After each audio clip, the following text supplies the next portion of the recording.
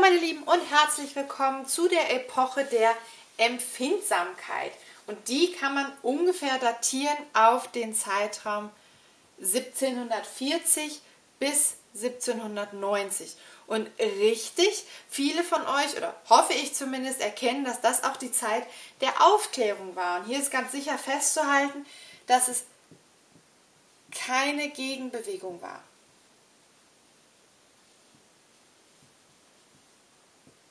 Sondern eher eine Vervollständigung oder eine Ergänzung ähm, zur Aufklärung, weil nämlich in der Aufklärung viele, es vielen Leuten zu rational war.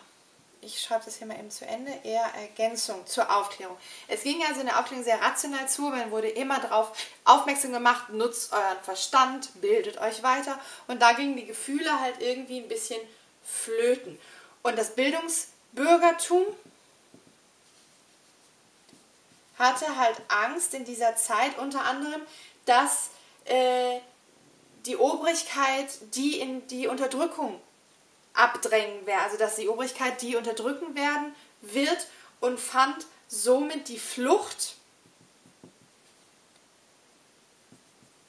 in die Empfindung und konnte damit halt sich ausdrücken und quasi flüchten, sich vor dieser Unterdrückung der Obrigkeit flüchten. Das also nur vorab, dass es ganz klar ist, dass es keine Gegenbewegung zur Aufklärung ist, sondern eher eine Ergänzung und dass äh, es einfach, dass vielen Leuten des Bürgertums einfach die Empfindungen, die Gefühle gefehlt haben und deswegen eine zusätzliche Strömung, Epoche sich gebildet hat, die man äh, Empfindsamkeit nannte, nennt. Der Begriff Empfindsamkeit kommt von Lessing, der ja in der Aufklärung sehr vorherrschend war. Und äh, jetzt habe ich es englisch geschrieben, so Lessings Verdeutschung nenne ich es mal. Der hat das also das Wort sentimental aus dem Englischen übersetzt mit empfindsam, also eine Verdeutschung quasi. Und deswegen heißt diese Epoche hier Empfindsamkeit. Lessings Schuld. Ähm, die Literatur der Empfindsamkeit ist durch viele Sachen geprägt, die alle immer was mit Gefühle zu tun haben, ist klar. Es ist ja die Zusatzbewegung quasi zur Aufklärung.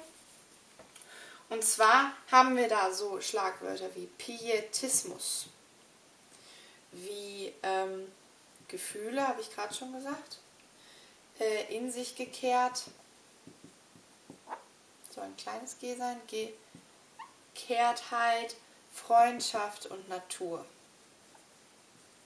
Diese Themen kommen halt in der Literatur relativ häufig vor, in der Empfindsamkeit.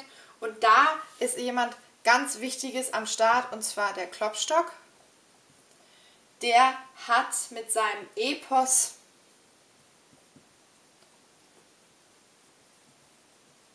der Messias äh, eigentlich so den Höhepunkt der empfindsamen Dichtung erreicht. Das war, man kann es nicht so genau festlegen, 48 bis 73. Irgendwo dazwischen in der Zeit ist es erschienen. Und das ist also ein biblischer Epos, der halt alle diese Sachen auf ein Höhepunkt der empfindlichen Dichtung bringt.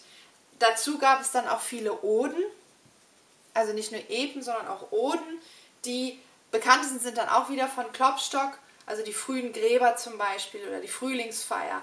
Ähm, das sind alles literarische Werke, die auch die Empfindsamkeit der Zeit relativ gut wiedergeben.